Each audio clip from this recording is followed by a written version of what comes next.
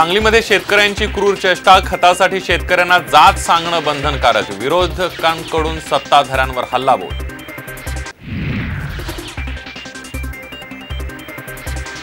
रामदास कदम यांचे लहान भाऊ उद्योजक सदानंद कदम ईडीच्या ताब्यात दापोलीतील साई रिसॉर्ट प्रकरणी कारवाई सदानंद कदम यांना घेऊन ईडीचं पथक मुंबईकडे रवाना.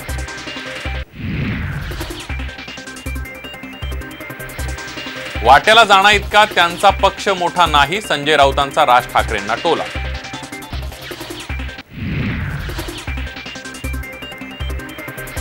नाशकात कांदा प्रश्नी राष्ट्रवादी काँग्रेस आक्रमक चांदवडमध्ये रस्त्यावर कांदा ओतून अडवला महामार्ग.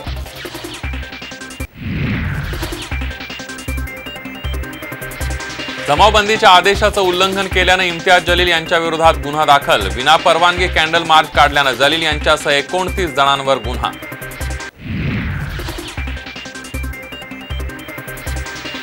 आणि या स्थितीनुसार शिवजयंती उद्धव ठाकरे आणि राज ठाकरेंकडून शिवरायांना वंदन. राज्यभरात जल्लोष.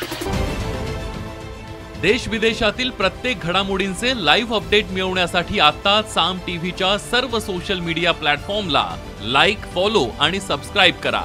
तसंच सर्व नोटिफिकेशनसाठी बेल आयकॉन प्रेस करायला विसरू नका.